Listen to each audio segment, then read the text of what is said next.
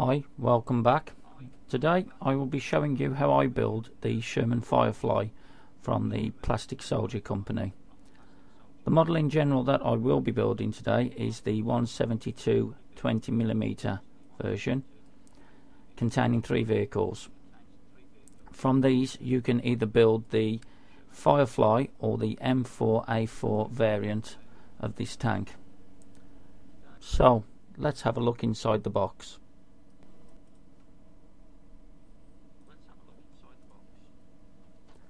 As with all the Plastic Soldier Company miniatures, the sprues are packed with a load of detail.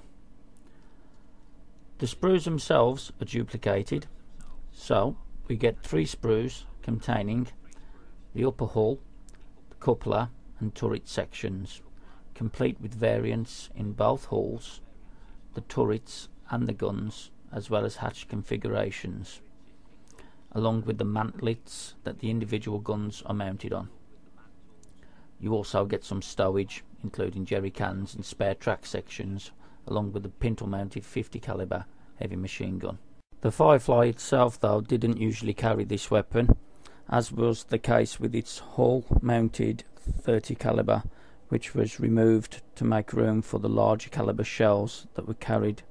The second set of sprues contained the track sections, the lower hull mud guards if required as seen on some variants of this tank with the extended mud guards along with the wheel sections showing the double VSS or vertical volute spring system with its offset roller. The tools that we will need for this project are a small pair of side cutters, a sharp scalpel or modelling knife, obviously some plastic cement, a small piece of sandpaper or even an emery board and a very fine drill. The drills that I'll be using this time are a 0.8mm, a 1mm and a 1.5mm diameter drill. We really should be looking at no larger than a 1.5mm drill. Inside the box itself, as you open it up, you will see the assembly diagrams these allow you to identify by colour coding the individual variances on the Sherman Firefly or the M4A4. Quick assembly diagrams are also included which will allow you to assemble the wheel unit, the turret subassembly and the general assembly in total. It also allows you to see the finished model with the rear, front and side elevations allowing you to orientate and picture the finished model. Looking at the actual production of the model for a moment, the mould and flash lines are kept to a minimum and where possible every effort has been made to attach the finished figure or miniature to the sprue at a very low point, allowing for the mould line to be virtually invisible, which can easily be removed with a file, sharp knife or emery board.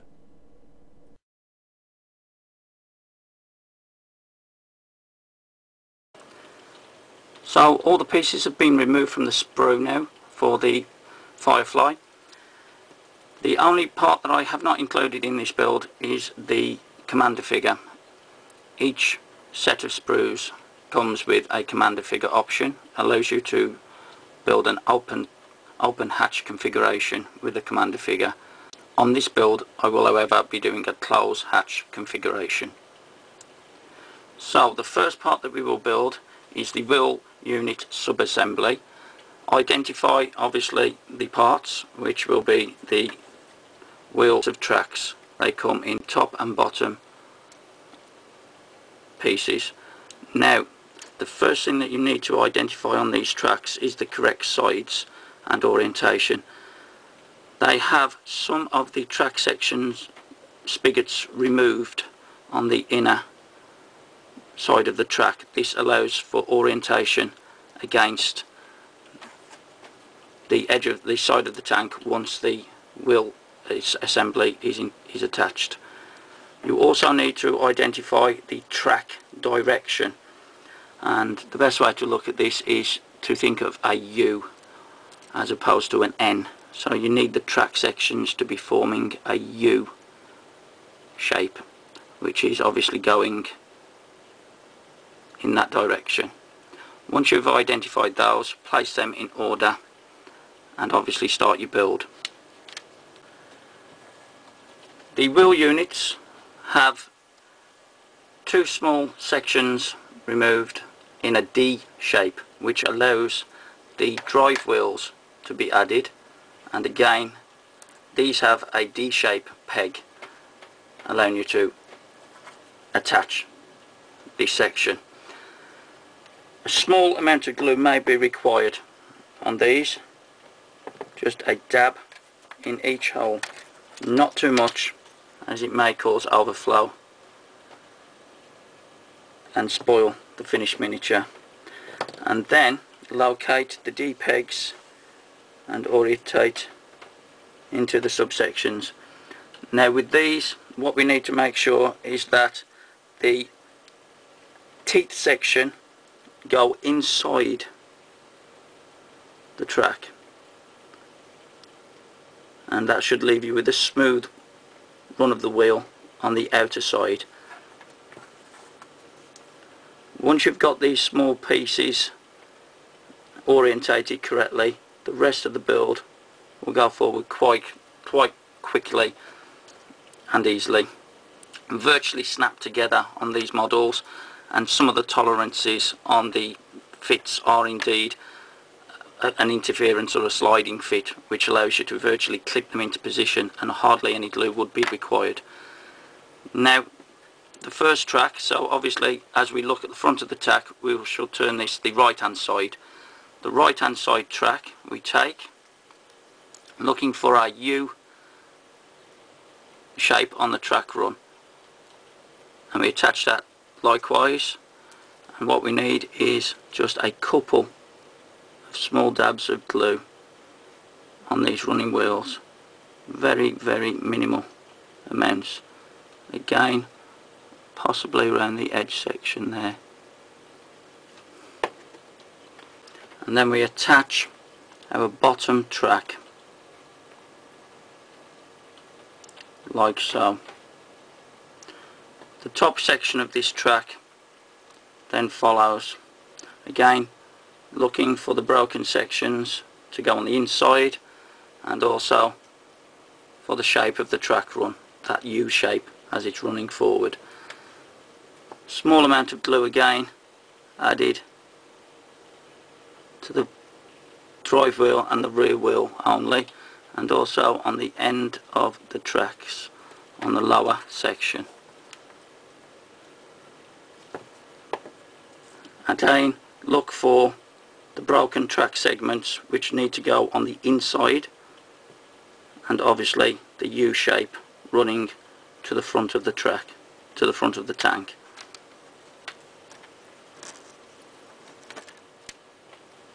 Offer those sections up to each other. Align you may need to clamp at this point. And again at this point. And because of the only slight gap that will be shown here. A small amount of putty may be required once dry. Once that is complete repeat with the opposite side of the track. And so on to the turret and gun assembly. Locate your pieces including the upper turret the lower turret the gun mantle sections and the gun.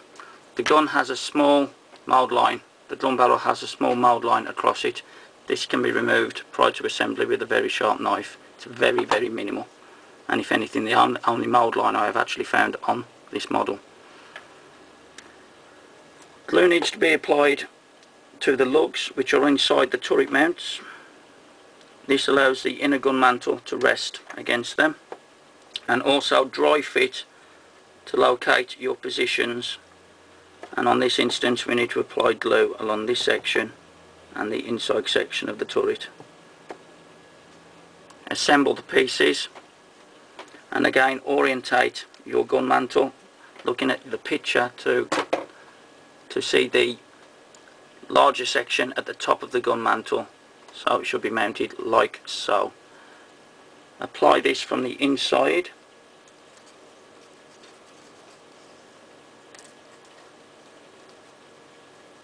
and then apply your upper turret to your lower turret sections. You may wish to clamp this section of the miniature whilst drying. Place that to one side. Whilst waiting for this section to go off to dry before applying the hatches, obviously you don't want any contact cement or glue on your fingers. You want to keep that away, so allow that to dry before handling the more fiddly parts of the hatches. We'll move on to the general hull assembly, which is basically two piece and the front section including these separate rivets on the hull, on the bulkhead. There's also a small storage box and if need be any stowage but the stowage can be always added afterwards. Straightforward again, locate with the dry fit first to locate your glue points. And looking at this now we need only apply glue to this section and possibly to the under section along here. And very small amounts to these lugs. You will see a gap there. And prior to that this section attaches like so. So we assemble with a glue or a cement along this edge and around here like so into position and there. And you can hear the model clip together. So always dry fit before applying your glue or your cement.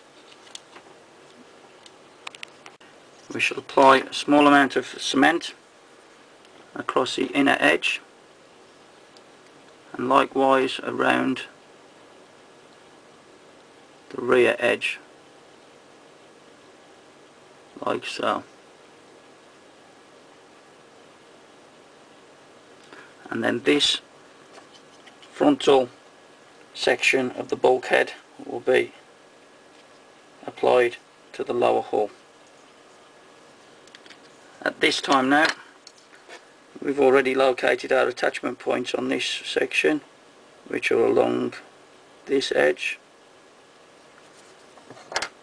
along the front inner edge and smaller dabs just on the lugs.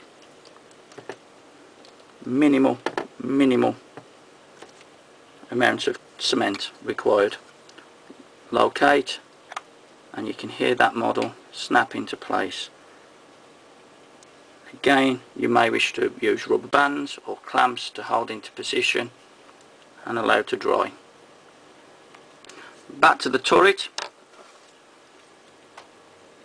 And in this instance now we just need to locate the outer mantle orientate correctly with any diagrams or pictures. And what we're looking for here again how we orientate this will be obviously I can see three little dents there indentations a small one there and this there the gun itself the barrel itself, locate the vent holes and just push into place. A snap fit and interference fit on these two parts. We don't really need any contact cement along these edges. What will happen is it will spill out of the model and if indeed it is contact cement may even melt the very fine detail. So interference fit that's all we need on this model and likewise the barrel and gun set is interference fit. This will allow some movement on the model. We'll remove the gun section for this instance now while I show you the cupola and hatches. The hatch again you can orientate and what we're looking at here are two hatch doors and a, on the cupola and a third hatch orientate your positions and dry fit again so we need the two hatch sections and the cupola. On this you will see a, a small handle and a larger locking mechanism, circular mechanism. This goes as we orientate on the left hand side of this hatch section. The cupola itself, again, push fit, interference fit. You can turn this with some degree. You don't need any contact cement at all. Along this edge we just need a very small dab of cement and likewise and on the inner edge of this hatch assembly and apply the hatches. Again orientate with the hinges on the outside of this rectangular hatch. And our two cupola hatches are going to attach like so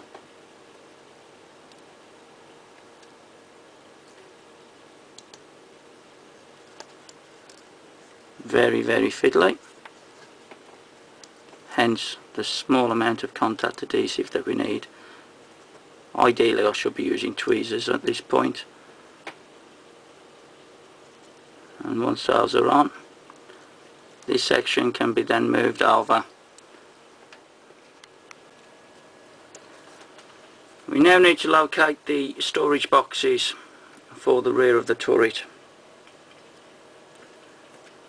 and the storage box for the rear of the hull along with the two sections of rivet for the bulkhead.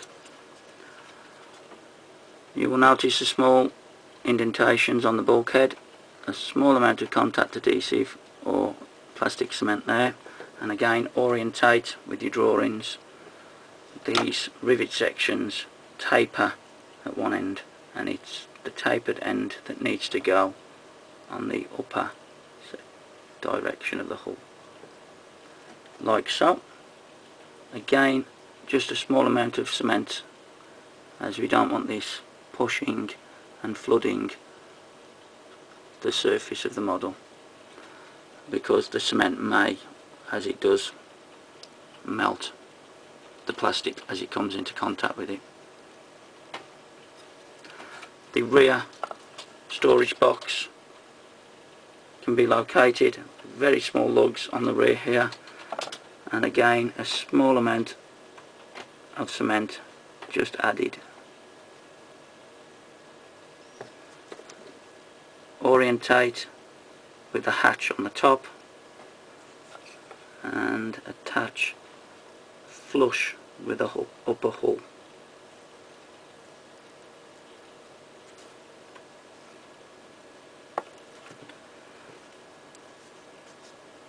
storage boxes and enlarged bulkhead rather with its storage box to the rear of the turret. We have this small section with its three square shapes which locates into this storage box like so and then the two are glued attached with cement to the rear and again orientate with the diagrams and any models or miniatures or pictures that you have.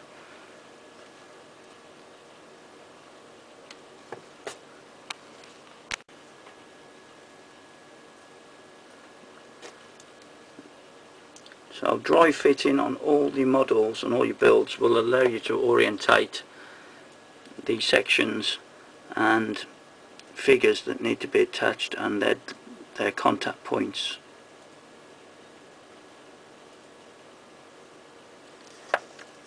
As with this instance, we need to make sure that this section does not protrude too far above the hull.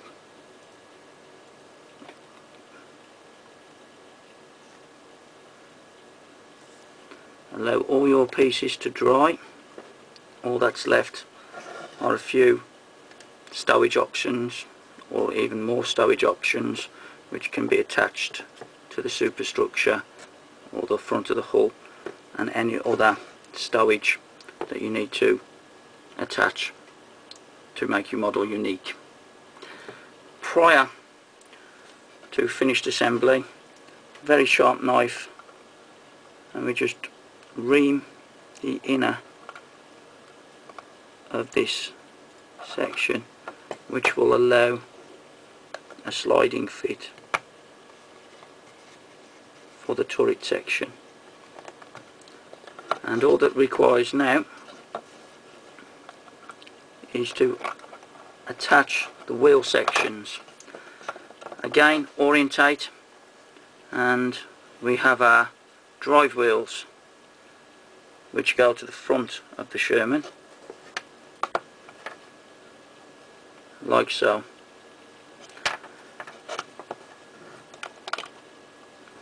We locate here on three lugs. One two three and likewise. One two three and a small amount along the inner section like so and then we attach in the correct direction the wheel sections and then hold in place and indeed you may even need to clamp or again rubber band around the entire model.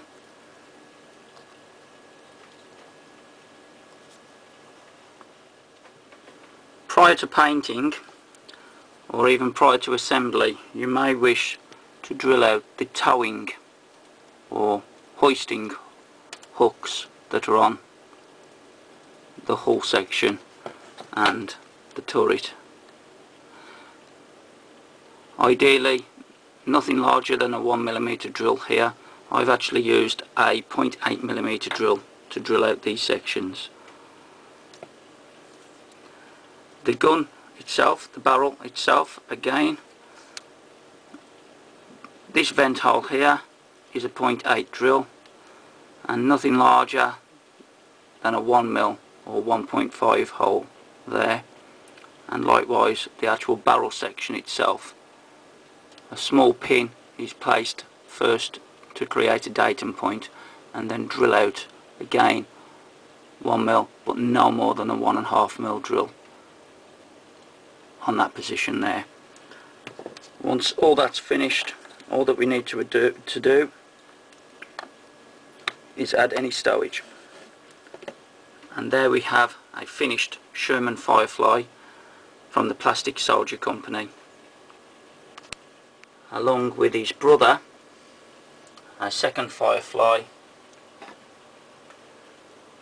and the M4 A4 Sherman very accurate interpretation and representation of the Sherman. And minimal hindrance or fuss on the assembly